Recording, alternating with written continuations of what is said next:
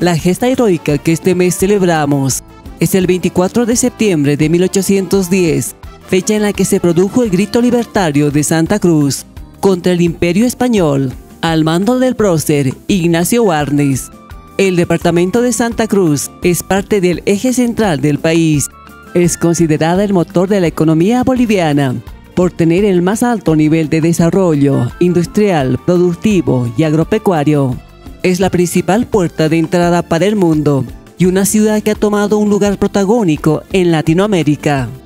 Custodiada en su jurisdicción por los siguientes regimientos. Regimiento de Infantería 7, General Juan Marzana. Regimiento de Infantería 10, Coronel Ignacio Warnes. Regimiento de Caballería 10, General José Mercado. Regimiento de Artillería Antiaérea 8, Teniente Coronel Félix Aguirre.